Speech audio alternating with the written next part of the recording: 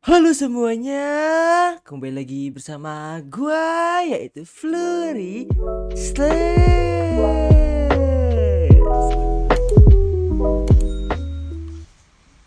Jadi pada kali ini gua bakal bermain game Roblox lagi dan gamenya itu Blockfruit dan pada kali ini gua bakal mengawakening res gua menjadi V4 guys. Ya seperti yang kalian lihat, gue bakal nge-awakening res gue yaitu Sharkman Race. Karena apa? Ya karena dari dulu gue emang suka sama Sharkman Race. Dan bagi kalian yang bertanya, Bang, gimana sih caranya supaya kita bisa nge-awakening res kita menjadi V4? Ada beberapa persyaratan yang harus kalian penuhi teman-teman. Yang pertama, kalian harus sudah mengalahkan Rip Indra teman-teman. Rip Indra itu yang bos spawn yang ada di sini. Dan kalau kalian nggak tahu gimana caranya ngalahin Rip Indra, kalian bisa tonton video gua gimana caranya untuk mengalahkan Rip Indra. Nah, setelah itu baru masuk ke tahap paling sulit ya teman-teman, yaitu adalah menarik tuas atau menarik lever yang ada di grade 3 teman-teman. Dan itu juga prosesnya paling sulit dan paling lama untuk nge-awakening res kalian. Dan untuk gimana caranya? Kalian bisa tonton video gua cara membuka ruangan res awakening V4. Karena apa? Kalau gue jelasin di sini itu bakal panjang banget. Jadi karena udah lengkap banget di video gue yang sebelumnya, kalian tinggal tonton saja itu sudah lengkap. Nah, kalau semisalkan sudah membuka ruangan res V4, sekarang hal yang kalian butuhin adalah dua player lagi dengan res yang berbeda. Dengan contoh semisal nih, gua sekarang resnya itu udah segmen satu player. Yang kedua nih, ini resnya Cyborg dua orang. Yang ketiga resnya Sky atau Angle. Nah itu yang kalian butuhin untuk nge-awakening res kalian. Tahap pertamanya ya nih. Karena apa? Mereka ini dibutuhkan untuk ngelakuin trial res awakening. Nah, kalau orang-orangnya udah lengkap dan semua persyaratan sudah terpenuhi, hal yang kalian butuhin tinggal menunggu datangnya full moon teman-teman. Oke, sekarang gue tinggal nunggu full moonnya dateng dan kita bakal ketemu lagi kalau full moonnya sudah tiba. Oke nih teman-teman, jadi malam ini adalah full moon dan sekarang hal yang perlu kalian lakuin adalah pergi ke grade 3 teman-teman. Dan kalau misalkan kalian nggak tahu bang yang mana grade 3, grade 3 itu ada di sini teman-teman nih. Yang gambarnya itu atau pemandangannya itu adalah sebuah pohon besar yang di mana satu pohon besar ini menjulang tinggi dan sekarang gue bakal ke sana dan seperti biasa bakal gue cepetin. Let's go.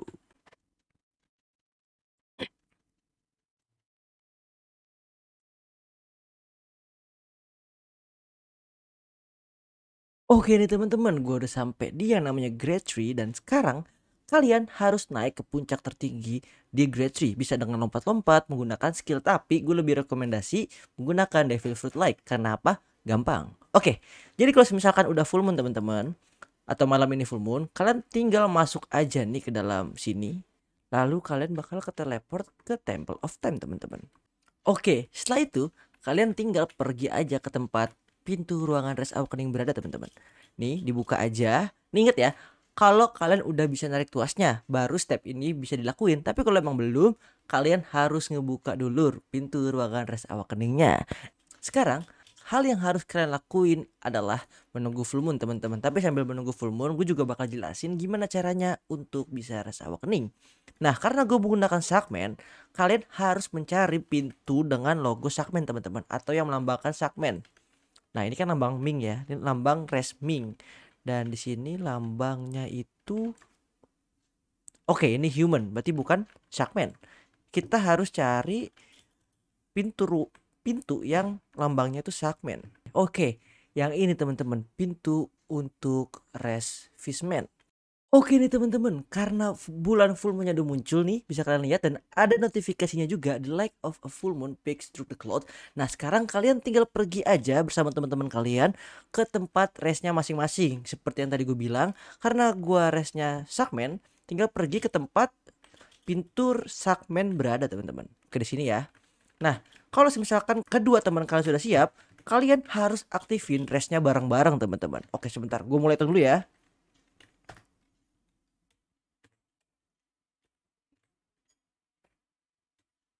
Oke.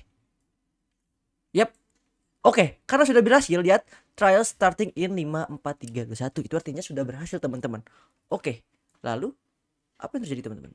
Jadi karena di sini gue nge-lag gak langsung ke teleport teman-teman. Tapi kalau normal kalian bakal langsung ke teleport. Gue ke teleport ke Nah, karena di sini gue menggunakan Rest Fishman, maka trial yang gue lakukan itu adalah mengalahkan si bis dengan total darah 20.000. Setelah kalian mengalahkannya, kalian bakal langsung ke trial selanjutnya. Trial selanjutnya, kalian harus PvP dengan teman-teman yang membantu kalian guys. Selalu, kalian harus memenangkan pertarungan itu dan mereka akan menjadi sebuah petunjuk untuk rest awakening kalian. Udah langsung mati karena tadi gue nge-lag. Ya, mereka bisa reset karakter ternyata teman-teman. Oke, selanjutnya setelah kalian ngebunuh teman-teman kalian atau kedua teman kalian, kalian tinggal perlu ikutin aja nih cahaya yang jadi mayat teman kalian nih. Ikutin aja, dia bakal memandu kalian ke tempat rest awakening teman-teman. Emang agak nge-lag nih sebenarnya nih. Aduh, jadi tidak bagus video gua.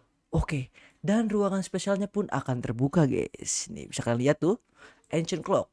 Tinggal kita interact aja. Setelah itu blue gear yang kita dapetin di Mirror's Island itu bakal ke over di sini teman-teman. Nah, nah ini, oke.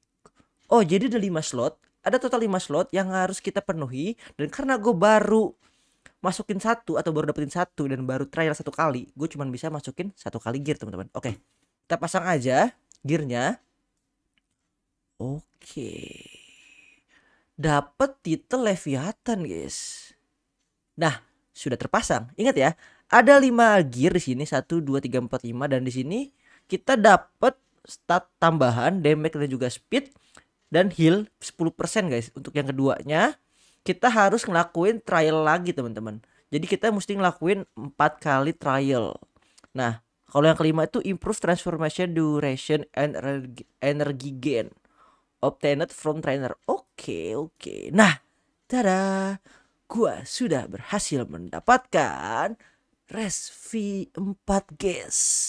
Nah, selanjutnya banyak yang penasaran teman-teman tentang Ancient One yang ada di sini guys. Nah, di sini tuh kita bisa ngomong sama Red Essence, tapi kita harus ngelakuin training training dulu teman-teman. Nah, come back when you have trained more. Nah, di sini gue udah dikasih tahu caranya untuk gimana bisa ngomong sama Red Hat Essence. Kita hanya perlu pergi ke NPC-NPC lalu ngaktifin skill rest kita sebanyak tiga kali atau lima kali guys. Jadi untuk mengisi bar rest awakening kalian, kalian dapat mengisinya dengan menghit NPC ataupun player-player random teman-teman. Tapi perlu diingat saat kalian ngehit player random itu barnya akan terisi lebih cepat teman-teman daripada menghit NPC. Dan kalau semisalkan kita juga terkena serangan mereka, bar kita juga bakal meningkat tapi tidak sebanyak kalau kita ngehit mereka. Oke okay guys, Nah, kalau udah penuh bakal kayak gini warnanya tuh, lihat bentukannya tuh. Kita coba lagi untuk ngeres awak kening gua. Hah. Salah. Hah. Nah, ini dia berhasil. Nah, bakal berubah jadi kayak gini guys tuh efeknya bisa kalian lihat. Ada efek hijau-hijau dan tapi wah cepet banget ininya. Energi cepet banget berkurang. Nah, saat kalian mengaktifkan res kalian untuk menambahkan bar kalian, kalian hanya perlu menghit musuh, NPC ataupun player random dan itu bakal otomatis terisi teman-teman, walaupun nggak banyak ya. Tuh lihat ya, energinya bakal nambah terus kalau kita hit-hit.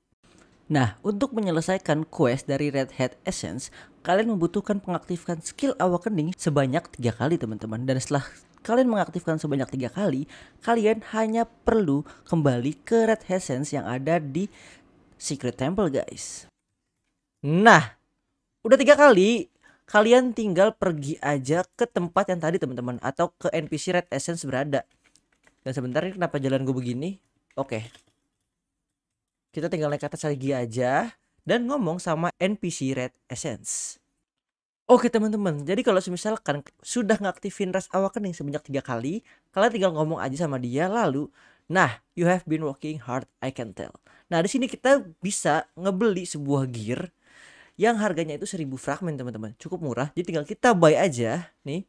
Nah kita dapat transformation upgrade di should fit into the clock. Nah di sini kita bisa gunain item tadi untuk masang di jam ini teman-teman nih. Nah, di jam ini nih. Nah, di sini udah kebuka, tapi untuk masang atau ngerubah susunan dari jam ini kita butuh ngelakuin trial lagi teman-teman. Jadi emang cukup susah caranya. Dan di sini kita bakal otomatis dapat gear yang kelima nih, improve transformation duration energy gain. Nah, obtain from trainer itu maksudnya adalah yang tadi gue lakuin. Gue udah ngelakuin tiga kali dan energi training gue udah sampai tier 1. Dan kalau nggak salah, tiernya itu sampai 10 teman-teman. Dan di sini perlu kalian ingat setiap tier kalian meningkat, kesulitan dari trial kalian itu akan meningkat juga teman-teman. Jadi perlu diperhatikan kalau misalkan tier kalian 5 itu berarti kesulitan kalian bertambah 5 kali teman-teman. Gak segampang waktu tier kalian satu. Oke teman-teman, jadi itu aja untuk video gua kali ini. Gimana caranya supaya bisa mengawakening res kalian menjadi V4 teman-teman. Dan ingat, syarat pertamanya itu sudah sudah menarik lever untuk ngebuka pintu ruangan res awakening. Dan yang kedua, kalian harus memiliki dua orang player yang memiliki res yang berbeda dengan kalian. Contohnya gua, satu Sakmen dan satu ini gua nggak tahu apa dan satu lagi ini Ming seperti itu teman-teman, harus beda dan begitu full moon tiba, kalian harus sudah sedia di pintu trial masing-masing res dan ngaktifin resnya di waktu yang sama. Dan begitu kalian berhasil ngaktifin resnya, itu pintu setiap trial bakal kebuka dan setelah kalian masuk, kalian bakal menghadapi setiap trial yang ada. Nah, setiap res itu memiliki trial-trial yang berbeda. Contohnya Sakmen, kalian ngelawan si Bis. Skypian, kalian ngelakuin parkour. Dan sisanya gue nggak tahu karena gue belum nyoba teman-teman. Dan menurut gue itu aja untuk video gue kali ini. Terima kasih untuk Rens dan juga Esther. Dan terima kasih untuk Wolab yang udah ngajarin gue gimana caranya untuk res awakening guys. So, terima kasih untuk kalian semua yang udah nonton video gue sampai habis. Kita bakal ketemu lagi di video selanjutnya. Dadah!